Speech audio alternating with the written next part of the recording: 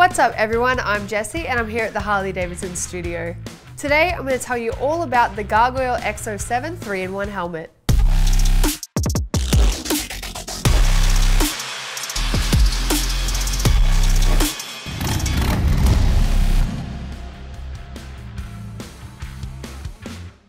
The Gargoyle helmet is super versatile with three different options to wear it.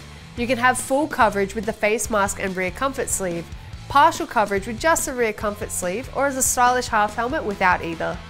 Its fiberglass construction features a micro lock buckle retention system, a 95% UV resistant retractable sunshield that is both fog and scratch resistant, and a washable liner.